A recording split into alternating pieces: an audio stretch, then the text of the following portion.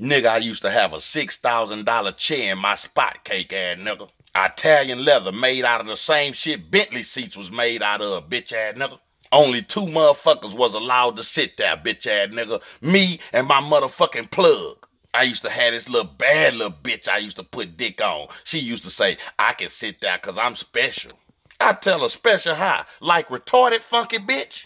I'll leave out my living room, come back. This fucking bitch will be sitting in my chair. I say, hey man, stay out my motherfucking chair, bitch. I ain't playing with you. My own mama and daughter know not to sit in this motherfucking chair, fucking bitch. So one day, one of my partners up in my spot, she want to try to show out. I leave out the living room and come back. This bitch sitting in my chair. I go the fuck off. I'm tired of this hoe playing with me. I put this hoe up out my motherfucking highs. My partner, old tender dick, trying to say that hoe. Goddamn, Smack, you ain't have to do it like that. I say you could get up out of here with her too, cake ass. Black superhero music, nigga.